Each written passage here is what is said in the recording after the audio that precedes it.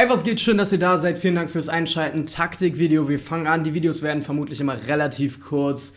Wir fangen mit ein bisschen grundlegenderen Sachen an. Dann später gehen wir vielleicht auf spezifische Spielzüge, Running, Passing, Defense. Alles am Start. Wenn ihr irgendwas schon immer mal wissen wolltet, jetzt ist die Zeit, das in die Kommentare zu schreiben. Ich bin hier mit zwei Kameras am Start. Da ist die erste und hier ist die zweite. Frage, die ich mir früher immer häufiger gestellt habe im Running Game, was ist der Unterschied zwischen einem Man-Blocking-Scheme und einem Zone-Blocking-Scheme?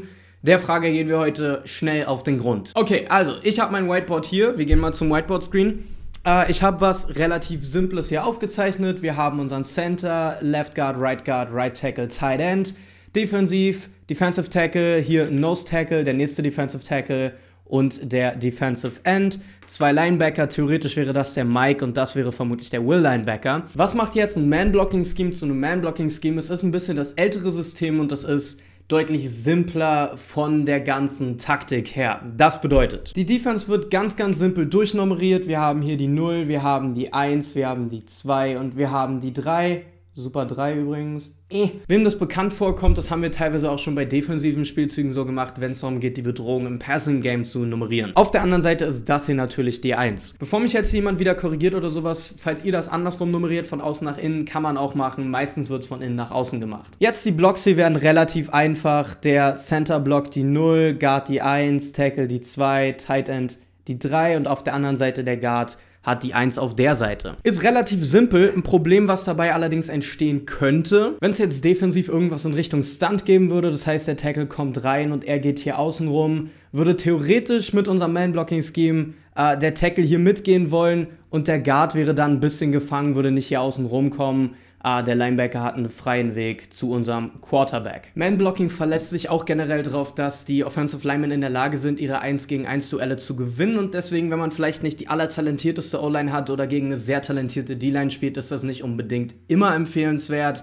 Noch dazu im Man schießt du ins zweite Level. Das heißt, diese ja sehr modernen RPOs, diese Run-Pass-Options, kann man damit nicht machen. Jetzt kommen wir zur Zone. Wie Zone schon sagt, kann man sich das ein bisschen wie spezielle Bereiche vorstellen. Das heißt, statt dass du einen Spieler hast, den du blocken musst und statt dass der Running Back einen Pfad hat, wo er definitiv einfach durch muss, Stattdessen blockst du das ganze Play ein bisschen mehr nach Zone. Der Running Back muss suchen, muss sich die freie Lücke finden und dadurch rennen. Das wiederum heißt, wir haben hier nicht so simples Blocking, wo jeder einfach jemanden nimmt, sondern wir haben verschiedene Zonen. Playside ist in dem Beispiel hier, beziehungsweise Strongside die rechte Seite, da geht unser Spielzug hin. Das bedeutet, wir haben diese beiden Gestalten hier, unseren Right Guard und unseren Right Tackle, beziehungsweise Playside Guard, Playside Tackle, die beide ihn hier in der Zone haben und auf der anderen Seite Center und Weakside Guard haben den Defensive Tackle in der Zone. Was heißt es jetzt? Ganz einfach, man muss am Anfang die Hüfte lesen. Das heißt, er hat einen Angriffspunkt auf der äußeren Hüfte, er hat einen Angriffspunkt auf der inneren Hüfte. Wenn die Hüfte zu ihm kommt, das heißt in die Richtung geht, dann übernimmt er den Block. Theoretisch ist es am Anfang ein Double Team Block, das heißt, sie sind beide auf dem hier. Dann arbeitet jedoch der hier, der Tackle, ins zweite Level und hat hier den Block auf dem Linebacker. Hier exakt das gleiche, wenn der Defensive Tackle, der Nose Tackle hier äh, Weak Side geht, dann kommt der Guard, hilft. Hier ist am Anfang Double Team, dann löst er sich ins zweite Level zum Linebacker. Tight End End immer noch relativ 1 zu 1. Ich habe gerade gesagt, das Ganze ist ein bisschen flexibler und man kann es meistens daran erkennen, dass der Running Back nicht mit den Pads square zur Line, also gerade zur Line of Scrimmage, gerade das Feld runter den Ball kriegt, sondern ein bisschen schräg. Dann kann man sich eigentlich sicher sein, dass es Zone ist in den meisten Fällen. Und die Offensive Line bewegt sich in die gleiche Richtung. Meistens haben die einen kleinen Drop Step, ungefähr 45 Grad oder genau seitlich in eine Richtung. Denn beim Zone-Blocking versuchst du normalerweise die Defense ein bisschen in einen Flow zu kriegen. So kann man dann auch Outside-Zone und Inside-Zone super miteinander kontern. Wenn jetzt die Defense also das Ganze erkennt und versucht, das Ganze ein bisschen zu kontern, indem sie in die andere Richtung gehen, das heißt, wir haben sowohl den Nose-Tackle, der Richtung Playside geht und auch den anderen Tackle hier, äh, dann wäre das Ganze ähnlich, aber anders. Das heißt, man sieht hier, der Center übernimmt den in dem Beispiel und unser Guard arbeitet ins zweite Level. Und hier ist es letztendlich das gleiche.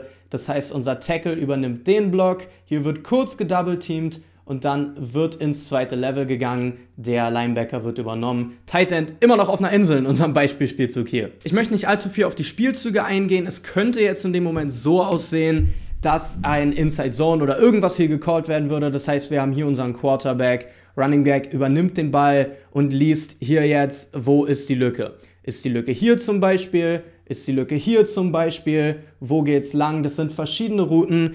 Deswegen ist es nicht wie beim Man-Blocking, dass man eine spezielle Route hat, einen speziellen Weg, den man laufen muss, sondern man muss als Running ein bisschen besser lesen können. Deswegen auch ein bisschen verschiedenes Personal. Wenn du mehr Man-Blocking-Scheme bist, hast du eher diese Powerbacks, die dicken, die einfach wirklich mit Explosivität, Schwung, Kraft sich durcharbeiten können.